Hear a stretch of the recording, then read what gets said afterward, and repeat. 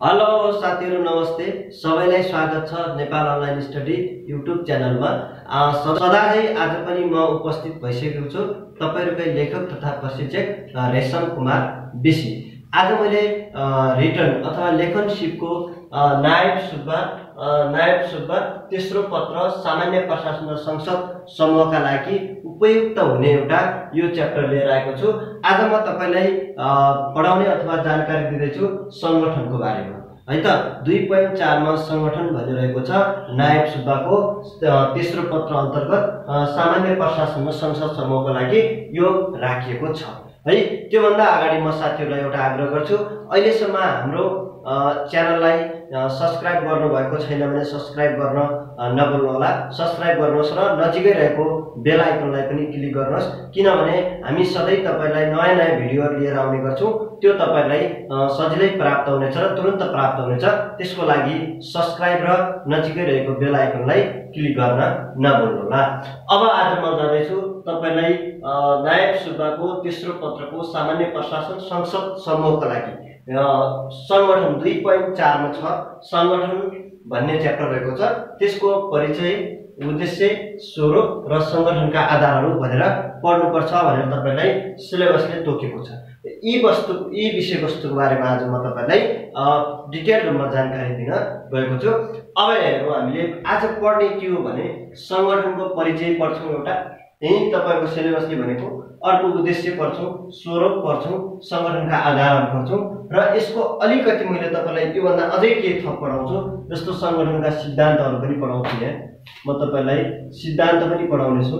अनि त्यसै गरेर सिद्धान्त अनि सङ्गठनमा रहेका देखिएका अथवा नेपालमा नेपालका सङ्गठनमा देखिएका समस्या के हुन् र यिनलाई समाधान गर्न के गर्नुपर्छ यो तिनवटा थप कुराहरू पनि मैले यहाँ तपाईँलाई पढाउनेछु एउटा सङ्गठनको परिचय उद्देश्य स्वरूप सङ्गठनका आधारहरू के हुन्? त्यो पढाउँछु भने अर्को सङ्गठनका सिद्धान्त र समस्या सङ्गठनमा देखिएका समस्या र ती समस्यालाई समाधान गर्ने उपायहरूको पनि म तपाईँलाई यहाँ जानकारी दिएँ अब आज हामीले सुरु गरौँ पहिला सङ्गठन भनेको के हो? है त? सङ्गठनको परिचयबाट सुरु गरौँ। सङ्गठन भनेको के हो? पहिला हामीले सजिलै के बुझौँ भने कुनै पनि विषयवस्तु पढ्दाखेरि त्यसको परिचय डिटेलमा जानु होला र त्यो परिचय पढ्दा जहिले पनि कुनै न कुनै कुरासँग लिङ्क गर्नु होला है जोडेर पढ्नुभयो भने तपाईँले बिर्सिनुहुन्न सजिलो हुन्छ। म तपाईँले सङ्गठन भनेको पहिला उदाहरण दिन्छु जस्तो तपाईँले विभिन्न खालका मन्त्रालयहरू देख्नुहुन्छ। त्यो पनि एउटा सङ्गठन हो। त्यो मन्त्रालय अन्तर्गतका विभाग छन्। ती विभाग पनि के हुन् सङ्गठन हुन्। त्योभन्दा तल जानुहोस् विभिन्न स्थानीय स्तरमा छरिएर रहेका कार्यालय छन् त्यसका। ती कार्यालयहरू पनि के हुन् सङ्गठन हुन्। भने अझै तपाईँले चाहिँ सजिलै बुझ्नका लागि तपाईँहरूको स्थानीय स्तरमा अहिले त के छ? स्थानीय तहहरू छन् नि। हो नगरपालिकाको कार्यालय अथवा गाउँ कार्यपालिकाको कार्यालय। पालिकाहरू छन् नि तिनी पनि के हुन्? सङ्गठन हुन्। अझै तल जानुहोस् वडा कार्यालय छन् ती पनि सङ्गठन हुन्। त्यति मात्र होइन सङ्गठन भनेको तपाईँहरू चाहिँ दुईजना व्यक्तिहरू मिलेर एउटा समूह गठन गर्नुहुन्छ। समूह बनाएर कार्य कार्य सञ्चालन गर्नुहुन्छ। त्यो पनि सङ्गठन हो। जस्तो विभिन्न आमा समूहहरू छन् नि आमा समूहले एउटा सङ्गठन बनाएका छन्। ती पनि के हुन्? सङ्गठन। सहकारी संस्थाहरू छन् नि तिनका पनि सङ्गठन हुन्। अनि निजी क्षेत्रका विभिन्न कम्पनीहरूका पनि छन् नि तिनी पनि सङ्गठन हुन्। अनि तपाईँको चाहिँ विभिन्न नागरिक समाजहरू छन् नि तिनीहरूका पनि सङ्गठन है तिनी पनि सङ्गठन हुन्। भनेपछि सङ्गठन भने के हो भने त्यो दुई वा दुईभन्दा बढी व्यक्तिहरूको समूह हो। तर त्यो समूहमा के हुन्छ? सबैको साझा उद्देश्य हुन्छ। त्यसलाई सङ्गठन भन्छ क्या। यति भनेपछि तपाईँले सजिलै बुझ्नु होला। सङ्गठन भने के हो भने कुनै पनि उद्देश्य हासिल गर्नका लागि दुई वा दुईभन्दा बढी व्यक्तिहरूको संयोजन नै सङ्गठन। हेर्नुहोस् है सङ्गठन भने अरू बुझ्नु पर्दैन। यहाँ दुईवटा कुरा हुन्छ। सङ्गठन हुनका लागि दुईवटा कुरालाई ख्याल गर्नुलाई एकदम सजिलै बुझ्नुलाई। हेर्नुहोस् है एउटा सङ्गठनमा के हुनुपर्छ भने मैले मेटिदिएँ सङ्गठनको परिचय बुझ्नुलाई दुईवटा कुरालाई ख्याल गर्नुहोला एउटा के हुनुपर्छ भने उद्देश्य हुनुपर्छ। है एउटा उद्देश्य हुनुपर्छ। त्यही उद्देश्यलाई परिपूर्ति गर्नलाई दुई वा दुईभन्दा के हुनु पर्यो बढी व्यक्तिहरू हुनु पर्यो यसलाई सङ्गठन भन्छ क्या। है त?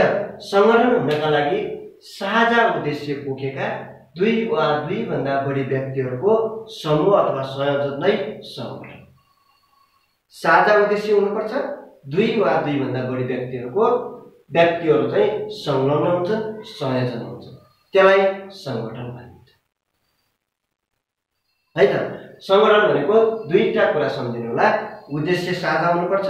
ती साझा उद्देश्य बोकेका दुई वा दुईभन्दा बढी व्यक्तिहरूको संयोजन भनेकै सङ्गठन। यस्तो सङ्गठनहरू जस्तो व्यवा व्यावसायिक रूपमा होला अथवा राजनीतिक व्यावसायिक राजनीतिक आर्थिक सामाजिक रूपमा समान उद्देश्य बोकेका व्यक्तिहरूको समूह सङ्गठन। व्यवसाय रूपमा हुनसक्छ अथवा सामाजिक रूपमा हुनसक्छ आर्थिक रूपमा हुनसक्छ राजनीतिक रूपमा हुनसक्छ। समान उद्देश्य भएका व्यक्तिहरूको समूहलाई सङ्गठन भनिन्छ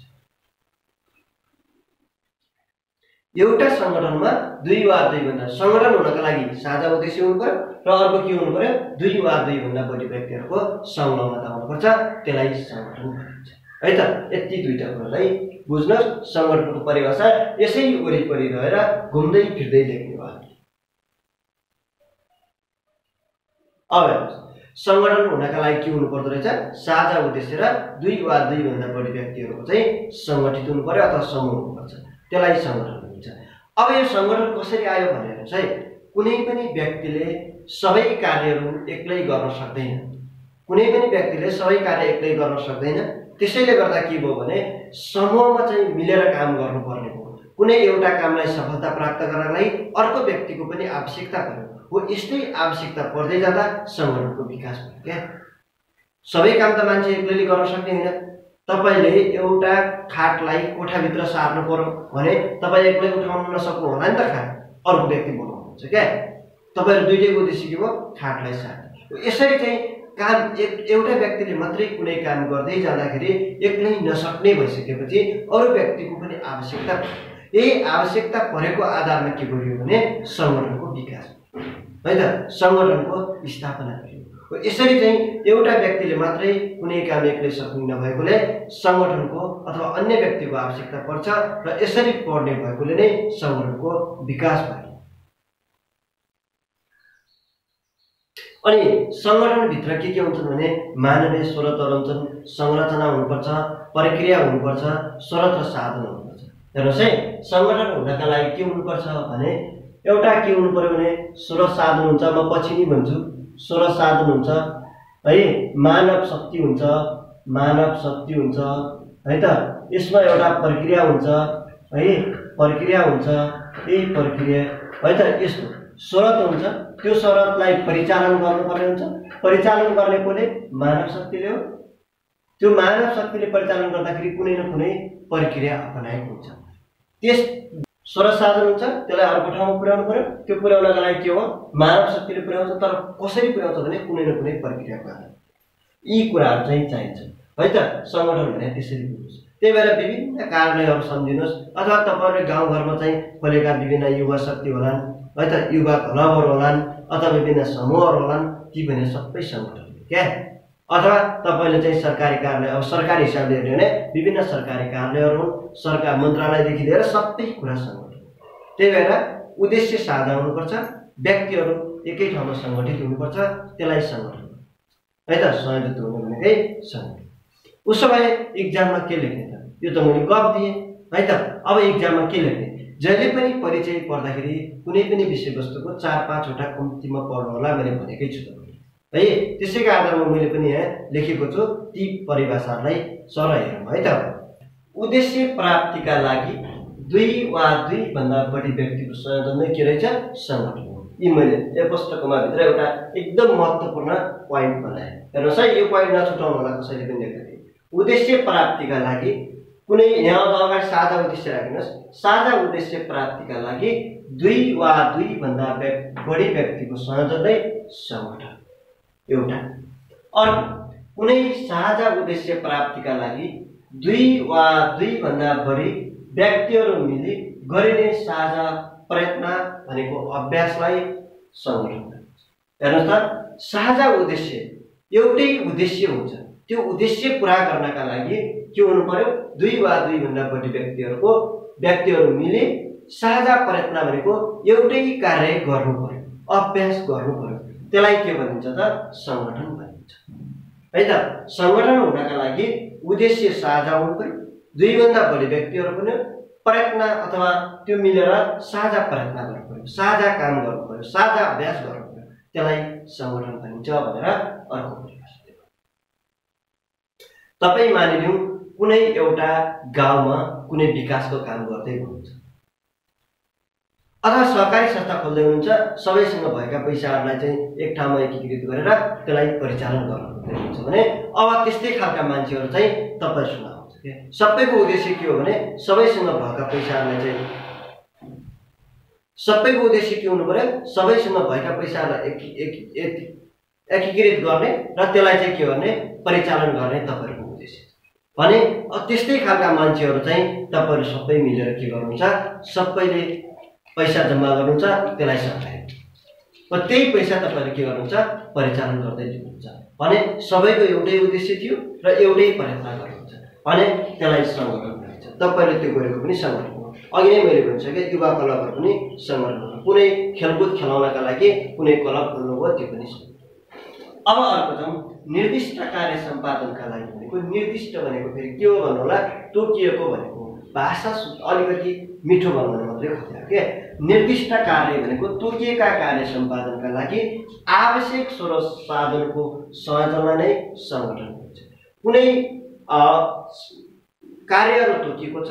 ती कार्यहरूलाई पुरा गर्नका लागि के गर्नु पर्यो? आवश्यक स्रोत साधन भनेको मानवीय स्रोतलाई फेरि व्यक्ति आएर छ भन्नु होला नि यहाँ व्यक्ति स्रोत साधन मानवीय स्रोत साधन पनि हुनसक्छ भौतिक स्रोत साधन पनि हुनसक्छ जुनसुकै पनि हुनसक्छ। साधन स्रोतलाई के गर्ने? एकै ठाउँमा एउटा संयोजन गर्नु भनेकै सङ्गठन। अर्को हेर्नुहोस्। कुनै निश्चित उद्देश्य हासिल गर्नका लागि व्यक्ति अघि भनेको थिएँ। व्यक्ति प्रक्रिया संरचना उद्देश्य काम संशिष्ट भएको छ भने त्यसलाई सङ्गठन कुनै निश्चित उद्देश्य हासिल गर्न तोकिएका उद्देश्यहरू हासिल गर्नका लागि व्यक्ति हुन्छ त्यो व्यक्तिले प्रक्रिया चलाउँछ त्यसको संरचना बनाइन्छ त्यही संरचना उद्देश्य र त्यो कामको संशिष्ट भएको छ भने त्यसलाई के हुन्छ त सङ्गठन अर्को हेर्नुहोस् है अब तपाईँलाई भने सरकारी परिभाषा तपाईँ त सरकारी जागिर खाने भने त लक्ष्य पास गर्ने भने अब हेर्नुहोस् सरकारी सङ्गठन अथवा सङ्गठन भने के हो भन्ने कुरा हेर्नु सार्वजनिक प्रशासन सञ्चालन गर्ने। तपाईँले नागरिकता पाउनुहुन्छ विभिन्न स्वास्थ्य सामग्री पाउनुहुन्छ शिक्षा पाउनुहुन्छ तिमीलाई सार्वजनिक प्रशासन अथवा सार्वजनिक के हुन्छ? सेवा भन्छ नि। त्यही सेवा प्रवाह गर्नेलाई के हुन्छ प्रशासन भन्छ। सार्वजनिक प्रशासन सञ्चालन गर्ने। हेर्नुहोस् है सार्वजनिक प्रशासन सञ्चालन गर्ने। विभिन्न प्रकारका स्रोतहरूको व्यवस्थापन गर्ने राज्यको उपस्थित देखाउने र सरकारको गतिविधि सञ्चालन गर्ने निकायलाई सङ्गठन यो काम कसले गर्छ? मन्त्रालयले गर्छ विभागले गर्छ अनि तपाईँले कार्यालयहरूले गर्छन् विभिन्न कार्यालय स्थानीय तहहरूले गर्छन् प्रदेशले गर्छन् तपाईँका वडा कार्यालयले गर्छन् तिन सङ्गठन हुन् भनेर अघि भनेको थिएँ नि त हेर्नुहोस्। सार्वजनिक प्रशासन सञ्चालन गर्ने सार्वजनिक प्रशासनलाई सञ्चालन गर्ने विभिन्न प्रकारका स्रोतहरूको व्यवस्थापन गर्ने विभिन्न प्रकारका स्रोत भनेको आर्थिक स्रोत होला तपाईँको मानवीय स्रोत होला भौतिक स्रोतहरू होला यी स्रोतहरूको व्यवस्थापन गर्ने राज्यको उपस्थित देखाउने राज्य चाहिँ प्रत्यक्ष रहेको देखाउने तपाईँहरूलाई वडा कार्यालयबाट सेवा दिँदाखेरि राज्य आफै आउने होइन नि त्यहाँ। त्यो कर्मचारीले तपाईँले राज्य उपस्थित भएको देखाउने र सरकारको गतिविधि सञ्चालन गर्ने सरकारका सम्पूर्ण कार्यहरूलाई कामहरूलाई चाहिँ के गर्ने? सञ्चालन गर्ने निकायलाई नै सङ्गठन भनिन्छ। एउटा सम्झिनुहोस् सार्वजनिक प्रशासन सञ्चालन गर्ने दुईवटा स्रोतको व्यवस्थापन गर्ने तिनवटा राज्यको उपस्थित देखाउने र सरकारका गतिविधिहरू सञ्चालन गर्ने निकाय भनेकै के रहेछन्? सङ्गठन त्यही भएर अघि भनेको थिएँ यसको अर्थ हो विभिन्न सरकारी कार्यहरू सबै सङ्गठन। सार्वजनिक प्रशासन सञ्चालन गर्ने विभिन्न प्रकारका स्रोतहरूको व्यवस्थापन गर्ने राज्यको उपस्थित देखाउने गतिविधि राज्यको उपस्थित देखाउने सरकारको गतिविधि सञ्चालन गर्ने निकायलाई नै सङ्गठन भनिन्छ यति कुरा। सार्वजनिक सेवा प्रसा प्रवाह गर्ने सङ्गठनहरू नीति निर्माण गर्ने पनि सङ्गठन हुन्। ती नीति निर्माणको कार्यान्वयन गर्ने पनि सङ्गठन हुन्। है त? जनताका हक अधिकारलाई सुनिश्चित गर्ने पनि सङ्गठन हुन्। तपाईँलाई शान्ति सुरक्षा दिने पनि सङ्गठन हुन्। सबै के हुन् सङ्गठन हुन् त्यही भएर सार्वजनिक पद सञ्चालन गर्ने स्रोतको व्यवस्थापन गर्ने राज्यको उपस्थित देखाउने सरकारका विभिन्न क्रियाकलापहरू सञ्चालन गर्ने निकाय सङ्गठनको रूपमा चिनिन्छ। त्यसलाई सङ्गठन भनेर भनिन्छ। होइन सामूहिक प्रयासद्वारा निर्दिष्ट लक्ष्य प्राप्तिका लागि सिर्जना गरेको स्वरूप नै सङ्गठन सामूहिक प्रयासद्वारा निर्दिष्ट लक्ष्य प्राप्तिका लागि सिर्जना गरेका स्वरूप नै सङ्गठन सामूहिक प्रयास भनेको सामूहिक एकभन्दा बढी व्यक्तिहरूको प्रयास अभ्यासद्वारा तोकिएका लक्ष्य प्राप्ति गर्न गरिएका विभिन्न क्रियाकलाप भनेकै के रहेछ त? सङ्गठन। मैले तपाईँलाई एक दुई तिन चार पाँच छवटा परिभाषा तपाईँलाई यहाँ भने। यति लेख्नुभयो भने तपाईँलाई इक्जाममा पुग्छ। यसैको आधारमा तपाईँले नोट बनाएर बस्नुहोस्। है त? त्यही भएर दुई वा दुईभन्दा बढी व्यक्तिको सहभागिता हुनुपर्छ र तिनीहरूको साझा उद्देश्यहरू हुनु त्यसलाई सङ्गठन भनिन्छ। व्यक्ति प्रक्रिया संरचना र उद्देश्य काममा समिष्ट भएको छ भने त्यसलाई सङ्गठन भनिन्छ। अब एकदम सरकारी सङ्गठनसँग सम्बन्धित परिभाषा सार्वजनिक प्रशासन सञ्चालन गर्ने विभिन्न स्रोतहरूको व्यवस्थापन गर्ने राज्यको उपस्थिति देखाउने र सरकारका विविध क्रियाकलाप सञ्चालन गर्ने निकाय भनेको के रहेछ त? सङ्गठन है त त्यसैलाई सङ्गठन भनिन्छ। एउटा साझा प्रयासद्वारा तोकिएका लक्ष्यहरू प्राप्त गरेर एउटा स्वरूप भनेकै सङ्गठन यति मैले तपाईँलाई परिभाषा भने दुई वा दुईभन्दा बढी व्यक्ति र तिनीहरूका साझा उद्देश्य हुन्छ भने त्यसलाई सङ्गठन यति कुरो है त? अब अलिकति अगाडि जाउँ। सङ्गठनका उद्देश्यहरू।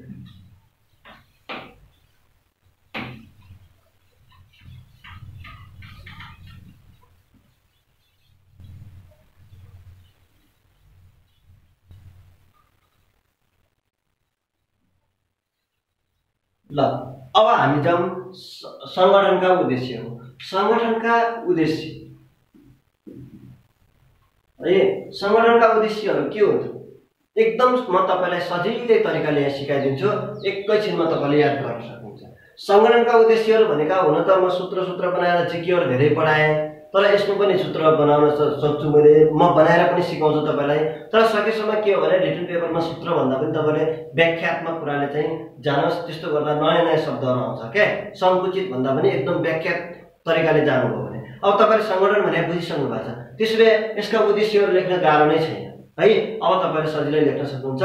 किनभने सङ्गठन भनेको चाहिँ तपाईँहरूको वडा कार्यालय पनि सम्झिनु भयो तपाईँहरूको गाउँपालिका पनि सम्झिनु अथवा पालिकाहरू सम्झिनु भयो तपाईँका विभिन्न कार्यालयहरू सरकारका कार्यालय सम्झिनु भयो विभिन्न गाउँ ठाउँमा भएका विभिन्न संस्थाहरू सम्झिनु भयो यसरी गर्दै जाँदा तिनका काम के हो त? उद्देश्य भने त्यही होइन? त्यसको महत्त्व पढौँ है? भन्नु भने सङ्गठनको महत्त्व के हो? किन चाहिँ सङ्गठन स्थापना गरिन्छ? अथवा सङ्गठनको आवश्यकता राज्यभित्र के हुन्छ? भनेर सोध्न सक्छ। भनेर सोध्न सक्छ है तपाईँलाई जे भने कुरो त्यही हो। मैले तपाईँलाई आवश्यकता महत्त्व उद्देश्य उपायता भनेका के हुन् भन्ने कुराहरू तपाईँलाई योभन्दा अघिल्लो भिडियोमा भनिसकेको छु। है कसरी पढ्ने भन्ने एउटा भिडियो पनि ल्याइदिएको छु। है त त्यही भएर मैले छुट्टै छुट्टै पढाउँदिनँ। आवश्यकता महत्त्व फाइदा उपाध्यायता किन भन्ने शब्दहरू सबै एउटै है। अब यता जाउँ हामी सङ्गठनका उद्देश्य हो। त्यही भएर सङ्गठनका उद्देश्यहरू जस्तो गाउँपालिकाले गर्ने सबै राज्यभित्र गरिने सम्पूर्ण क्रियाकलाप हो नि त। हो त्यसो यसका उद्देश्यहरू के हुन्? जनतालाई सेवा प्रवाह गर्ने भन्नुहोला नागरिक र राज्यबिच को सम्बन्धलाई स्थापित गर्ने कुराहरू समुद्र स्थापना गर्ने कार्य होला सङ्गठनको होइन? नागरिकका हक अधिकारलाई सुनिश्चित गर्ने कुराहरू भन्नुहोला राज्यको सार्वसत्ता अखण्डलाई चाहिँ जोगाउने कुरा होला। अन्तर्राष्ट्रिय हस्तक्षेपलाई चाहिँ अन्तर्राष्ट्रिय हस्तक्षेपबाट राज्यलाई मुक्त गर्ने कुराहरू होला। देशभित्र चाहिँ शान्ति सुरक्षा कायम गर्ने कुराहरू होलान्।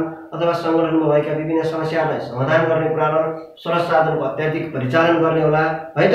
यिनै त उनीहरूका उद्देश्य गाह्रो छैन तर कसरी याद गर्ने भन्ने हेर्नुहोस् है कसरी याद गर्ने भन्ने कुरा म तपाईँलाई सूत्रै चाहियो एउटा सूत्र लेख्छु सूत्र। ल। नागरिक देशका स्रोत हो। नागरिक देशका स्रोत। यसैबाट बनाउनुहोस्। तपाईँहरू जति पनि तपाईँहरूले बनाउन सक्नुहुन्छ म बाह्र पन्ध्रभन्दा बढी बनाइदिन्छु यति शब्दबाट हेर्नुहोस् है नागरिकबाटै मैले पाँच छवटा बनाइदिन्छु देशबाटै तिन चारवटा बनाइदिन्छु। अनि त्यसो पछाडि चाहिँ स्रोत छ। स्रोतबाटै तपाईँलाई चाहिँ तिन चारवटा बनाइदिन्छु। यसरी गर्दाखेरि बाह्र पन्ध्रवटा यसै भन्छ। नागरिक देशका स्रोत हुन् भनेर सम्झिनुहोस् है हरेकले सूत्रहरू खोज्छन्। सूत्र बनाउँदा जहिले पनि के गर्नुहोस् भने त्यो जबरजस्ती अरूले बनाएका सूत्रहरू होइन क्या ट्याक्क आफ्नो दिमागमा बस्ने खालको सूत्रहरू बनाउनुपर्छ है? त्यसलाई ख्याल गर्नु नागरिक देशका स्रोत हुन् सबैले थाहा पाउन सक्छ। नि त यो त।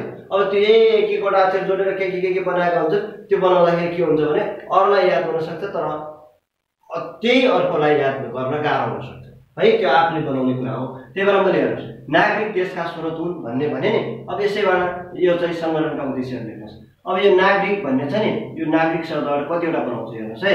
मैले नागरिकका हेर्नुहोस् नागरिकलाई नागरिकलाई सेवा प्रवाह गर्नु सेवा प्रवाह गर्नु। है वस्तु सार्वजनिक सेवा प्रवाह गर्नु एउटा हो। यो सङ्गठनको उद्देश्य त्यो होइन। अनि अर्को हेर्नुहोस् ए नागरिक ए नागरिकबाट बनाउँछु नागरिक र राज्यबीच राज्यबीच समुद्र सम्बन्ध समधुर सम्बन्ध स्थापित गर्नु।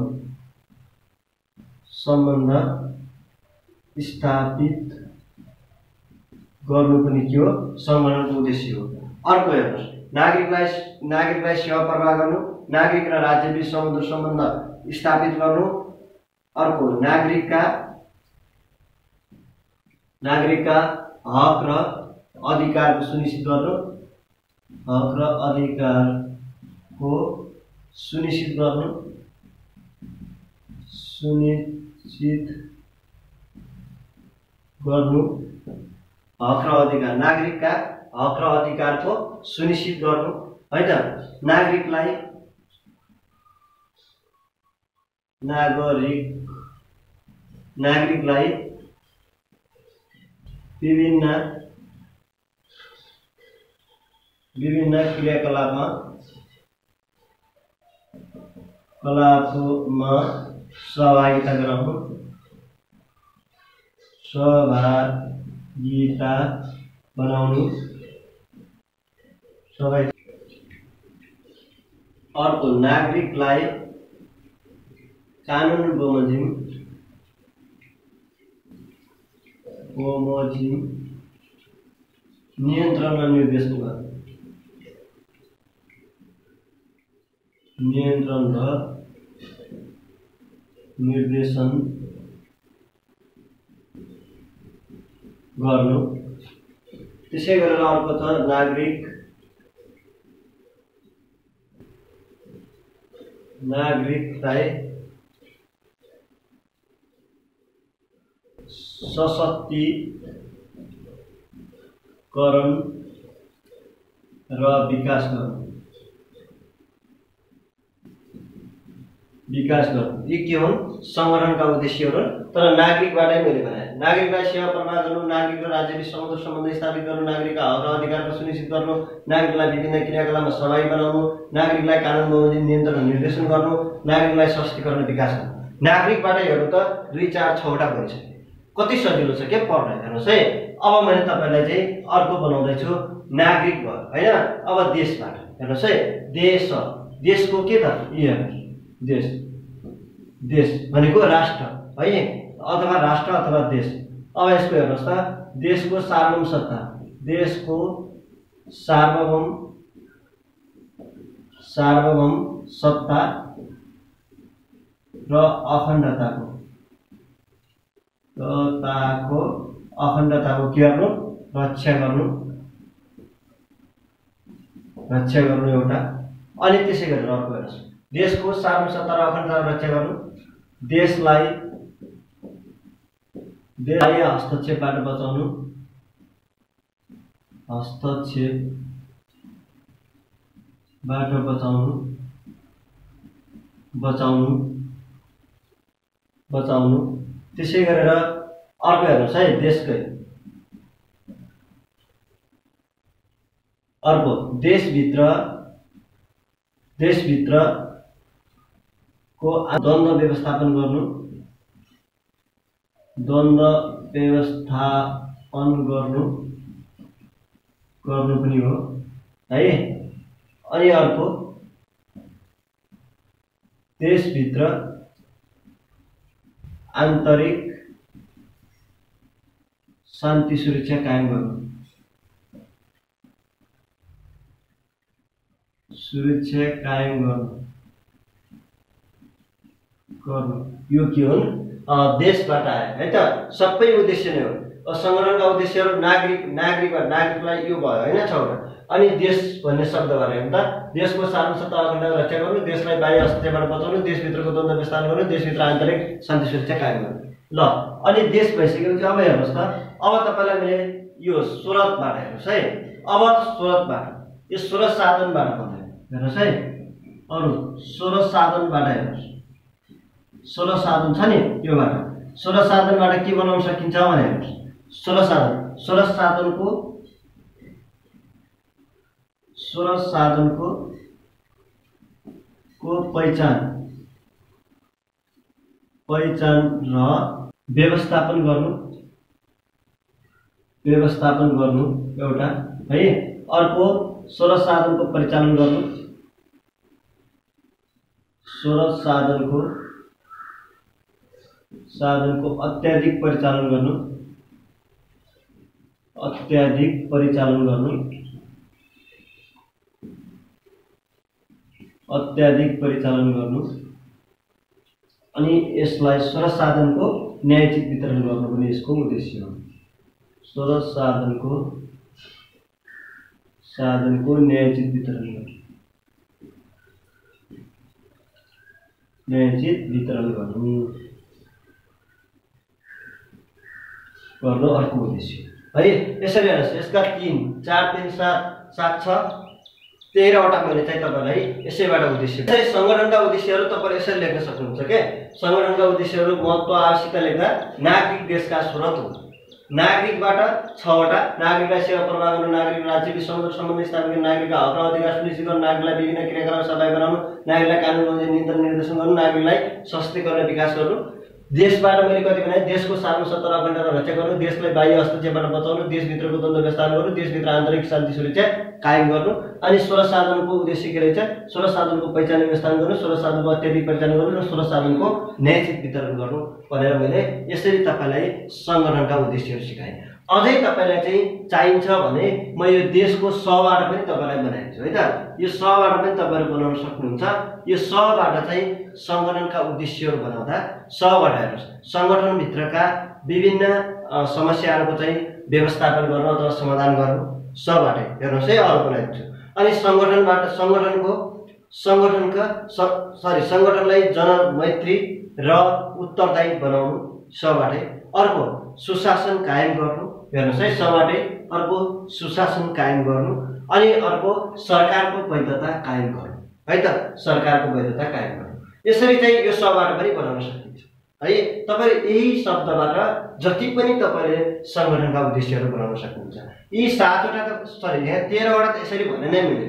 अब सबाट अर्को स सम्झिनुहोस् सबाट के बनाउनु छ यो देशको सबाट सङ्गठनका समस्याहरू समाधान गर्नु सङ्गठनभित्रका समस्याहरू समाधान गर्नु सङ्गठनलाई चाहिँ जनमैत्री उत्तरदायी पारदर्शी बनाउनु अर्को सरकारको वैधता कायम गर्नु सुशासनलाई प्रवर्तन गर्नु पनि सङ्गठनको उद्देश्य है। यसरी मैले सङ्गठनका उद्देश्यहरू तपाईँलाई लेख्न सिकाएँ। यसरी पढ्दाखेरि याद पनि हुन्छ। देशका यो थिए अनि सर्वसाधारणका यो थिए नागरिकका यो थिए सबाट आउने यस्तो भन्नुभएको थियो भन्ने कुरा याद हुन्छ नि त। त्यही कारणले मैले याद गर्न यसरी सिकाएँ। है त अब अलिकति अगाडि जाउँ। तपाईँलाई सङ्गठनका सिद्धान्त सिद्धान्तहरू कसरी सम्झिने भन्ने हेर्नुहोस् है यो च्याप्टरबाट आयो भने यीभन्दा बढी आउँदैन तपाईँलाई मैले पढाउँछु भनेको छु नि त्योभन्दा बाहिरबाट आउँदैन सङ्गठनबाट भने अब सङ्गठनका सिद्धान्तहरू हेर्नुहोस् त यसका सिद्धान्तहरू अब सङ्गठनका सिद्धान्तहरू हेर्नुहोस् है सिद्धान्त भनेको जहिले पनि के हुन्छ भने हेर्नुहोस् है सं- सिद्धान्त भनेको सर्वमान्य हुनुपर्छ त्यसलाई अगाडि बढाउने खुट्किलाहरू त्यसलाई अगाडि बढाउने खुट्किला जुनै जसको पनि सिद्धान्त भनेको अगाडि बढाउने खुट्किला हो र ती सर्वमान्य हुनुपर्छ भनेको तपाईँको सिद्धान्त के हो भने तपाईँको जीवनलाई अगाडि केले बढाउँछ र तिनी सर्वमान्य के छन्? समाजले पनि मानेको हुनुपर्छ। तपाईँको जीवन अगाडि बढाउनलाई तपाईँलाई चाहिँ स्वीकार समाजले स्वीकार्य के हुनुपर्छ र ती चाहिँ खुट्किलाले तपाईँलाई अगाडि बढाएको तीलाई सिद्धान्त क्या सिद्धान्त जहिले पनि लेख्दाखेरि त्योसँग सम्बन्धित सबैले मान्य हुने सबैतिर प्रयोग गर्न सकिने र त्यसलाई अगाडि बढाउने है त सिद्धान्त लेख्दा पनि। अब म यसका सिद्धान्तहरू कसरी याद गर्ने? यहाँ सूत्रै चाहियो भने सूत्रै लेख्नुहोस्। है सूत्र चाहियो भने सूत्र लेख्नुहोस्। सङ्गठनका सिद्धान्तका सूत्र लेख्नुहोस्। मैले यसरी भने बिसवटा आँप बिसवटा आँप निकास। है यति भनेर सम्झिनुहोस्। अब सङ्गठनका सबै सिद्धान्तहरू यहाँ आउँछन्। बिसवटा आँप निकास भनेको बी भनेको विकेन्द्रीकरणको सिद्धान्त। विकेन्द्रीकरणको सिद्धान्त। विकेन्द्रीकरणको सिद्धान्त। सङ्गठनमा जहिले पनि के हुन्छ? विकेन्द्रीकरण हुनुपर्छ भन्छ के? अर्को स भनेको हेर्नुहोस् है समन्वयको सिद्धान्त। समन्वयको सिद्धान्त। एक र अर्को सङ्गठन बिच समन्वय हुनुपर्छ। समन्वयको सिद्धान्त भयो। अनि ओटाको छैन यसलाई नसम्झिनुहोस् मैले जोडेको। आप भनेको अब आ भनेको आदेश आदेशको एकताको सिद्धान्त। एकताको सिद्धान्त। आदेशको एकताको सिद्धान्त। अर्को प भनेको पद सोपानको सिद्धान्त।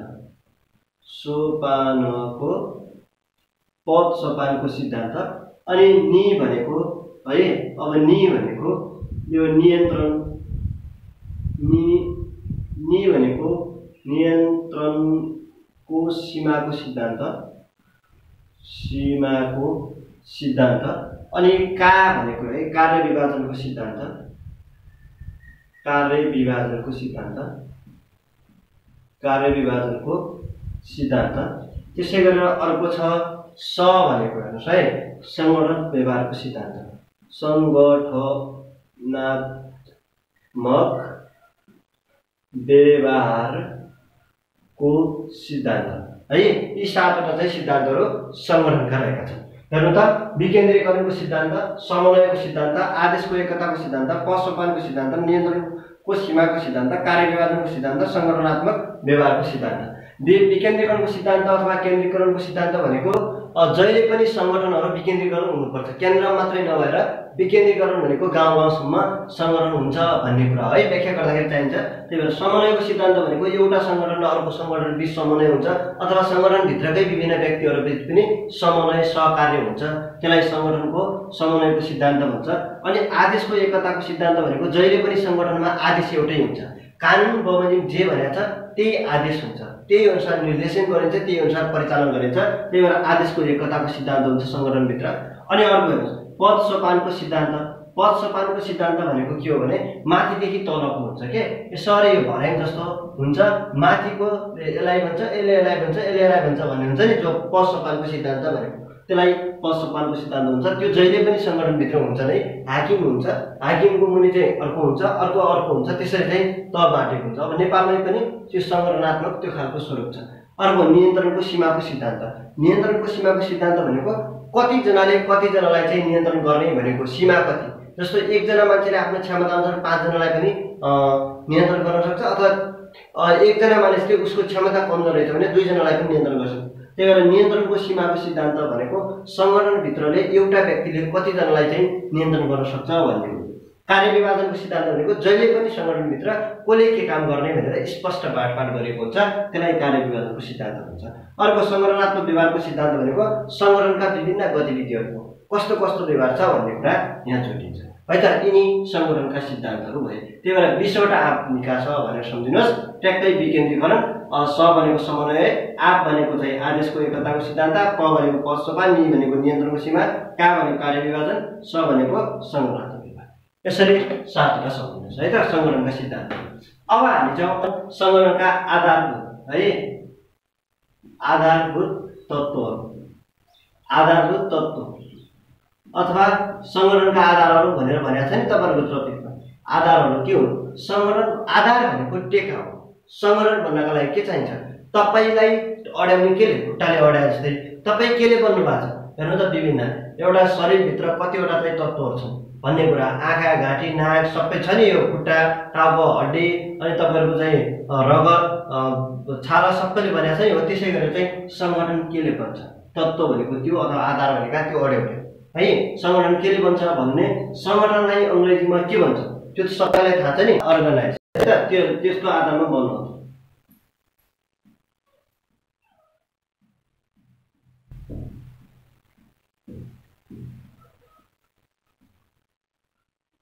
ल अर्गनाइज।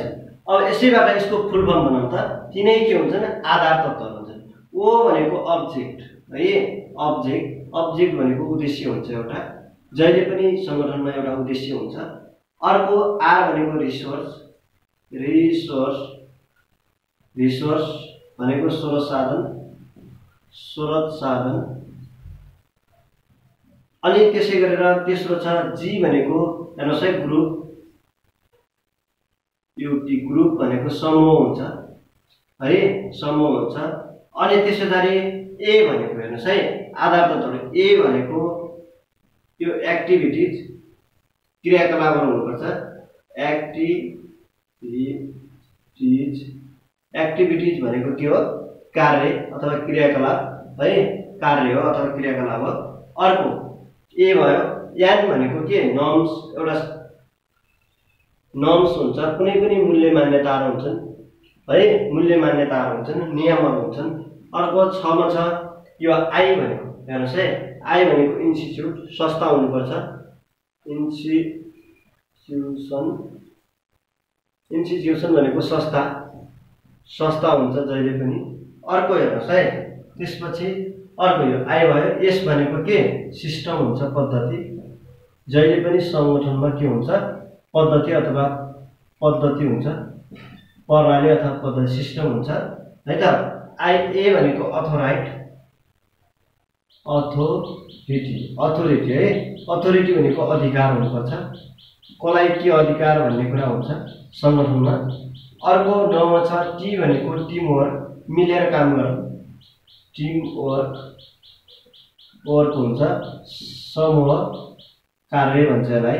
सामूहिक कार्य गर्ने हुन्छ। मिलेर काम गर्नेलाई टिम वर्क हुन्छ। अर्को दसमा हेर्नुहोस् है आई भनेको। आई भनेको इन्टी इन्टिग्रेसन है इन्टिग्रेसन भनेको एकीकरण हुन्छ। एकीकरण। है एकीकरण हुन्छ। सम मिलेका हुन्छ नि आयो अर्को आयो भनेको इन्टिग्रेसन त्यसै गरेर ओ भनेको आउटपुट एघारमा आउटपुट भनेको प्रतिफल भन्छ यसलाई नेपालीमा। प्रतिफल हुनुपर्छ। है त अनि अर्को छ यहाँ भनेको नेटवर्किङ नेटवर्किङ नेट नेटवर्किङ भनेको के हो?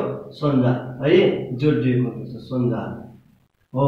यसरी त्यही सङ्गठनका आधारभूत तत्त्वहरू। सङ्गठन बन्नका लागि यी तत्त्वहरू हुनुपर्छ। सङ्गठनलाई अङ्ग्रेजीमा अर्गनाइजेसन भन्छ।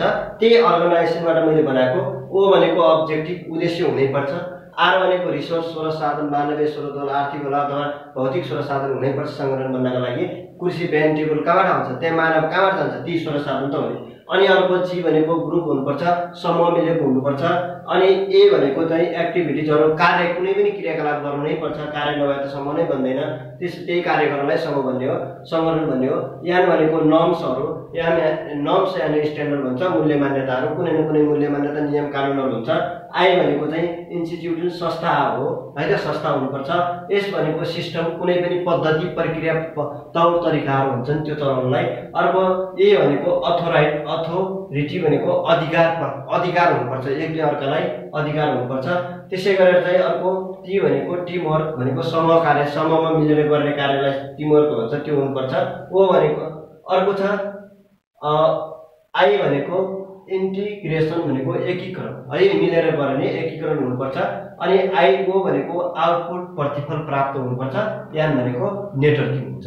यसरी के हुन्छन्? यी सबै मिलेर एउटा के भने हुन्छ? सङ्गठन हुन्छ। त्यही भएर यिनीलाई सङ्गठनका तत्त्वहरू अथवा आधारहरू भनेर भनिन्छ। है त? अब यसपछि सङ्गठनका स्वरूपहरूको बारेमा है त? अर्को तपाईँलाई सोध्नुको छ स्वरूपहरू। सङ्गठनका स्वरूपहरू। स्वरूप। है? सङ्गठनका स्वरूपहरू सङ्गठनका स्वरूपहरूलाई म मुख्यतया चारवटा लेखाउँछु जस्तो एउटा के छ भने हेर्नुहोस् है। ठाडो ठाडो सङ्गठनको सङ्गठनको स्वरूप स्वरूप एउटा ठाडो हुँदा चेप्टो सङ्गठनको स्वरूप चेप्टो सङ्गठनको स्वरूप हुन्छ। अर्को घन्टाकार घन्टाकार सङ्गठनको स्वरूप र अर्को म्याट्रिक्स। म्याट्रिक्स सङ्गठनको स्वरूप। म्याट्रिक्स आकारको। यो चार प्रकारका स्वरूपहरू हुन्छ। स्वरूप भनेको के हो भने कस्तो चाहिँ बनेको छ त? कस्तो आकारको भन्न खोजे के स्वरूप भने? सङ्गठनको। है त? जस्तो सङ्गठनका स्वरूपहरू मुख्यतया यी एकदमै चर्चित सङ्गठनका स्वरूपहरू हुन्। यी चारवटा सङ्गठनहरू स्वरूपहरू हुने गर्छन्। एउटा ठाडो अथवा यसलाई पिरामिड भनेर पनि भन्छ है त? पिरामिड आकारको हुन्छ। पिरामिड आकारको हुनसक्छ। अर्को चेप्टो आकारको फैलिएको आकारको हुनसक्छ। अर्को घन्टाकार भनेको घन्टिका जस्तो आकार भएको हुनसक्छ। अर्को म्याट्रिक्स भनेको यसरी भएको चौ वर्गाकार खालको चाहिँ सङ्गठन हुने गर्दछ। अब चाहिँ ठाडो सङ्गठनको स्वरूप भनेको कस्तो भने यो बढी पद सोपान अधिकार प्रत्यार्जन जस्ता व्यवस्थाहरू गरेको हुन्छ यसमा। पद सो सोपान जस्तो हुन्छ।